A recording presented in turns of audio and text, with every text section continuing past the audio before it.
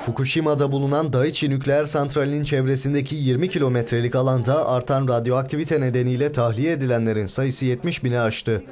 Evlerini terk etmek zorunda kalanlar sığınaklara yerleştirilmeden önce radyasyon taramasından geçiyor.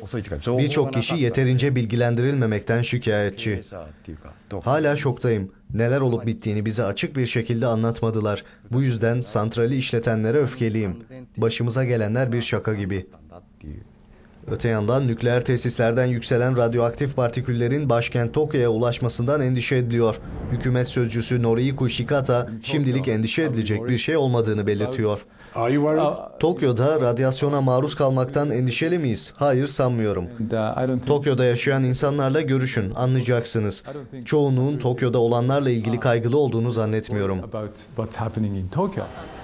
Çok sayıda yabancı firmanın personelini çektiği ve yüz binlerce kişinin evlerinden dışarı çıkmaya çekindiği Tokyo'da yaşayan birçok kişi bu açıklamaları tatmin edici bulmuyor. Sanırım yöneticiler halkı paniğe sevk etmemek için yeterince şeffaf davranmıyor. Yetkililer Tokyo'da radyasyonun insan sağlığını tehdit eder boyutlarda olmadığını belirtse de çoğu kadın ve çocuklardan oluşan binlerce kişi şimdiden Osaka gibi güneydeki şehirlere kaçıyor.